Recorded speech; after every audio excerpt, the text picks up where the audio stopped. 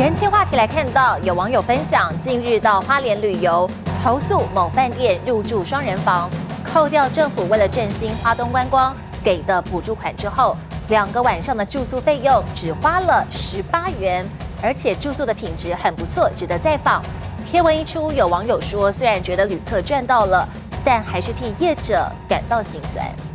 舒适房型设备应有尽有，大厅自助吧免费享用，甚至还有交易厅。花莲这样的旅馆两晚住宿房价不用三位数，你相信吗？有网友分享住进这间旅馆的双人房，设有停车位，虽然没附早餐、没浴缸，但两晚的住宿房价原价两千元出头，扣掉政府为了振兴花东观光给的补助款，算下来两晚住宿只花了十八元，引发热议。其实那是因为我们本身的价格也已经有优惠了，然后又加上搭配平台的优惠，偶尔会。会出现这样子比较惊喜的价格了，因为我们是浮动房价，所以如果平日来入住的话，补助的话大概只要贴三三百到五百不等而已。扣掉国旅的话，两晚六百，再再自己贴六百，蛮 OK 的。消息曝光，有网友直呼房价本来就不贵，再加上有补助，虽然觉得旅客赚到，但还是替业者感到心酸。看看当地受到地震冲击，人潮不如以往，花莲自由行观光补助也因此延长到十一月底，更加码每人每月都可补助一千元。但反观台东，补助款在九月底。即将到期，当地业者也期盼能比照花莲延长补助期限。七月份的客源实在真的很不好哈，八月份补助的时候呢，客人真的回流了，然后九月也没什么连休假日。暑假过之后，也许很多业者就会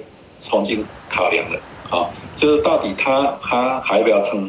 啊，像我们刚刚看到这是算低价哈，应该是不会赚钱，但是可能是让员工有工作机会。九月份开学之后，旅客数又变长。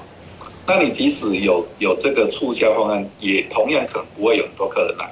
对此，观光署表示，台东是否延长补助期限还有待评估。毕竟，寄出低房价对业者来说，利润即便减少，至少还盼到人流。但要是拿掉补助款，人潮未必回流，恐怕也面临血本无归。就欢迎台东综合报道。